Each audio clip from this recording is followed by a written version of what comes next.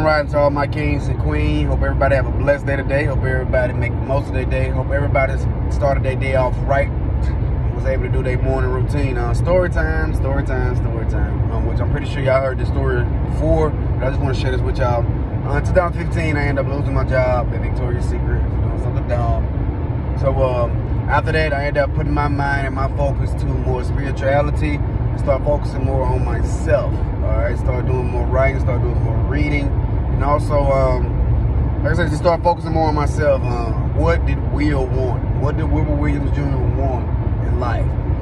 So um, I always had a dream of um, having my own gym. So what I started doing, I started working out like crazy. Started going to ULM. Um, start working out at ULM like crazy. Um, end up playing basketball. I used to play basketball uh, almost every day. Sundays is when that thing would get packed. Um, we'll be in there all day on Sundays. Um, and I, I, I, was doing pretty good because my mind was focused. I mean, I didn't have no job at the time. Uh, I put all my energy and all my focus into um, my fitness journey and um, just me just trying to better myself physically and also mentally too because um, my mind state was kind of fucked up when I lost that job. And you know, um, like I said, lost friendships. Like I said, I lost some good people because of uh, because of that situation. But it made me a better person when it came to mental strength and uh, physical strength and uh, emotional strength, all those type of things, and spiritual strength too. Also, so uh, so during that time, 2016, like I mean 2015, like I said, 16, I was working out like crazy. Um, February 28, man, we go to I go to the go to the gym, go to ULM gym with my homeboys. We going down hooping, so we get some good hoops in. Um, there was one guy in there, he was pretty damn good. So you know, shit, I had to be the one that hold him. So um, it was pretty quick, pretty good. You know, I actually was holding, I actually was holding it down. But on one play, um, Coach Sam, uh, Jimmy Sam ended up setting the screen.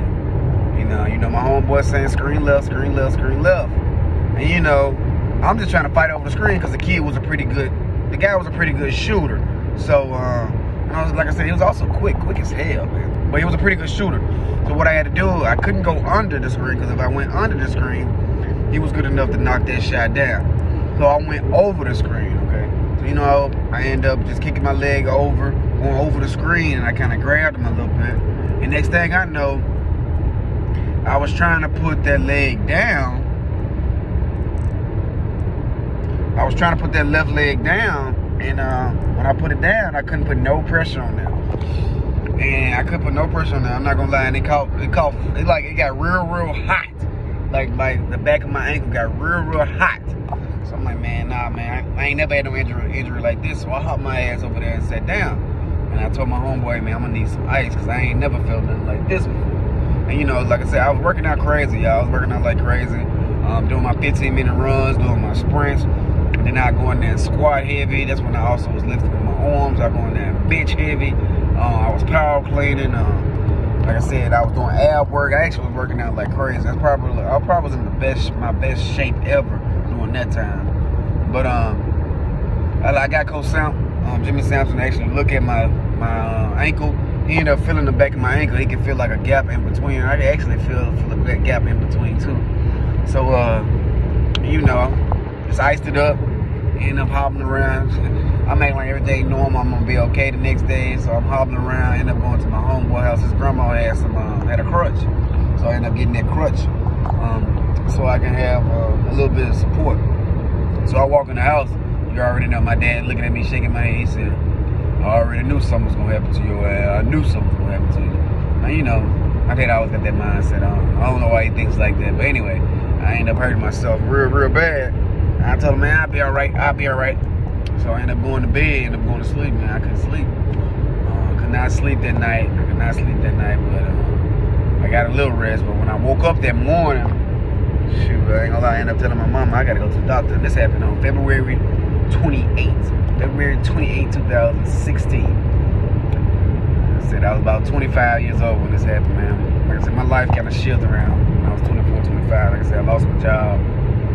Like I said, ended up messing my ankle. Ended up finding out that I tore my Achilles. That's what ended up happening. I ended up going to the doctor in the hospital. That's what they say. I got a torn Achilles. You know, I never had a big, big injury like that ever in my life. So, you know, it was kind of shocking. So they put me in the boot, put me in the gas, put me in boot and everything. And uh, I had to stand there for six weeks. And even then, man, like my mental and spiritual um, journey, man, it got it got much better because I couldn't I couldn't be active. I couldn't be active at that time, and at the same time in 2016, um, around like March, it was either March 6th or March 9th. It was the same day. It was the same day I had surgery. Same day we had surgery, our house ended up flooding. I think that was March 6th or 9th around that time. The same day I had surgery, I was in up flooding. And I remember leaving the hospital, you know, it was pouring down rain, and you know, you can see you can see the water levels are high. And you know, we trying to make it home. We almost didn't. Honestly, man, we luckily end up making it out because it really was. Uh, it was real bad. It was real bad. We ended up going to my grandma's house. And, uh, I think what ended up happening when we made it to my grandma's house, trying to get out the car, ended up bumping my leg again. So um, the next two days, all it was doing was just bleeding. It was bleeding like crazy. It would not stop bleeding. It would not stop bleeding. It was burning. So uh, we ended up going back to the to the doctor, and they had to end up um, putting more stitches on there because um, two or three stitches ended up coming out. So that's why I was bleeding like that. Luckily, we went to the doctor because I could have bled out. Um, shout out to Erica Coleman because she was there the whole time doing that process and doing that journey. And um, I know for her it was it was a tough because you know I was a, I used to be a mobile guy, and then it got to the point where I couldn't be mobile. And, you know, I had to depend on her. And I said, shout out to her for being there during that time because um, that's it. I, I actually was I actually was depressed during that time, but at the same time, I started building myself up because I had a lot of time on my hand dealing with those thoughts um, and things like that. You know, finding ways to better myself, like doing reading, writing, um, reading the Bible. That's when I started getting more and more deep into the Bible, getting more into my spirituality and things like that. But but honestly, man, it, it was it, it, was a good journey, and like I said, it, it made me it made me better. And after that, see, after the house ended up flooding, the house ended up catching on fire. So uh, yeah, that that whole journey, the house ended up catching on fire. That whole journey was crazy. But I ended up shaking back. Uh, doing that process, I ended up getting a job at um, at the Rec. So during that summertime, I ended up getting a job at the Rec, Virgin Lane, Virgin Lane Rec, and I was coaching basketball. So uh, I'm glad I was able to experience that. Um, end up getting out the boot. I was able to run around and jump around. Well, I couldn't really run around full speed, but I was running around playing ball with those um, those kids at Virgin Lane, having fun, teaching them the game stuff like that. And that's when it started. That's when that passion started more and more and more. Started working out with kids. Uh, people people around that love me because um, what I was doing with the kids, and then next thing you know, I get an opportunity at, at Caldwell Parish. Shout out to Jimmy Sampson. You know, I was like, hell yeah, you want coach basketball? I was like, hell yeah, why not? So then, um, ended up getting an opportunity at Caldwell. Met Coach Ford. Ended up being a part of the basketball team. And met Coach Duplexy. Ended up um, being part of the football team. And um, I was already doing track with Coach Simmons. So uh, that's basically uh, story time right there for me. I just want to tell y'all a little bit about that journey, about when I tore my Achilles. Like I said, I was real down during that time, but I think during that time, that's what really made me. During that time, when I tore my Achilles, what I'm saying is when I lost my job, tore my Achilles, house flooded and house caught on fire, that that made that molded me to be a better uh, better me, just to be honest, during that time. And that was around 2015, 2016, uh, six years ago. I'm 31 now, I was 25 then.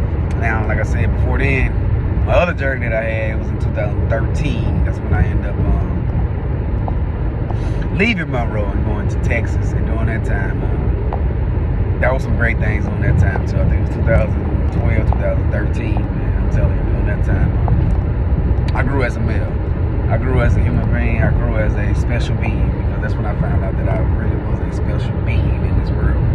That I had special abilities and that I can lead uplift so many people in this world. Um, and I had so many superpowers. I learned about reading the Bible, reading my self-help books, and uh, you know, just gaining more confidence because um, I was doing more of those things. And I had to had to had to be more open because I had to meet new people when I was in Texas, like I said. But uh, that's all I got for you guys, man. Just a little story time for y'all. Hope y'all have a blessed day today. Hope y'all make the most of y'all day. I will see y'all later. Make sure y'all have a good one. Yes, sir. Yes, Lord. There you go. Be great. Don't let nobody stop you. I'll see y'all guys later. Peace. Love. And so.